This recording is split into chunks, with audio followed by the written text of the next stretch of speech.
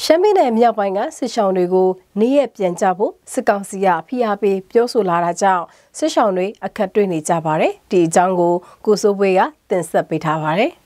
နမတူကုတ်ခိုင်ကြောက်မဲမန်တုံနမ်ခန်စတဲ့ရှမ်းပြည်နယ်မြောက်ပိုင်းကမြို့တွေမှာတော့နင်းနဲ့ချီကြပြီးနေရစွတ်ခွစစ်ဘေးရှောင်လာသူတွေရှိနေတာပါအခုက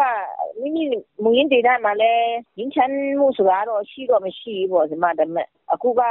ဒီနိုင်ငံတော်အစိုးရကနေလည်းတခန်းကိုပိတ်သိမ်းတော့မယ်အဲမိမိနေရက်ကိုပြန်လို့ရပြီဆိုတာမျိုးပေါ့သူတို့လည်းအမျိုးချီအားပေးတာမျိုးလည်းရှိတယ်ပေါ့ နမ်တူမျိုးကကချင်စစ်ဘေးရှောင်စခန်းမှာစစ်ဘေးရှောင်တွေနေရပြန်ဖို့အဆင်မပြေသေးပဲ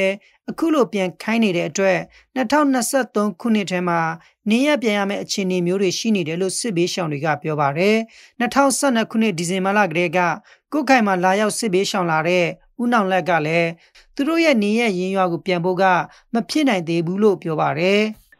ကျွန်တော်တို့မှာတော့မြို့ကနေတမတော်တွေရောက်လာပြီးတော့စစ်ပွဲတွေဖြစ်လာရန်လို့မရှိတဲ့နေရာတော့ကဲမှာစနေနေကိုလည်းအစီအစဉ်တွေရှိကြတော့အများပဲတော့တခြားနေရာမှာကြီးကြောင်းနေဖို့စဉ်းစားလာကြတာပေါ့နော်လက်ရှိစစ်ဘေးရှောင်တချို့နေနေကြတဲ့နေရာတွေဟာတသနာပိုင်နယ်မြေတွေဖြစ်နေတာကြောင့်ဆယ်စုနှစ်တစ်ခုကျော်လာတဲ့အခါရွှေ့ပြောင်းပေးရမယ့်အခြေအနေမျိုးတွေရှိနေတယ်လို့ကုတ်ခိုင်မျိုးကစစ်ဘေးရှောင်မျိုးသမီးတယောက်ကပြောပါတယ်ဟိုစစ်အ တွက်တော့လုံခြုံပေမဲ့သူတို့တဲ့အငြင်းတန်း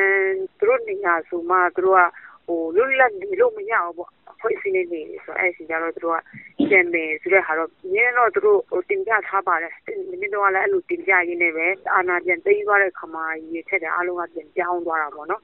နေရက်ကိုပြန်သွားဖို့အတွက်တချို့စစ်ဘေးရှောင်တွေကမူရင်ရက်ရွာတွေမှာလုံခြုံရေးပိုင်းစိတ်မချရသေးဘူးလို့ဆိုကြပါတယ်စစ်ဘေးရှောင်တချို့က စစ်ကောင်စီကနေရပြန်ကြဖို့စစ်ဘေးရှောင်စခန်းတွေဖျက်သိမ်းဖို့ပိတ်သိမ်းဖို့ပြောလာတဲ့အတွက်တချို့ကတော့လက်ရှိနေနေတဲ့စစ်ဘေးရှောင်စခန်းကနေ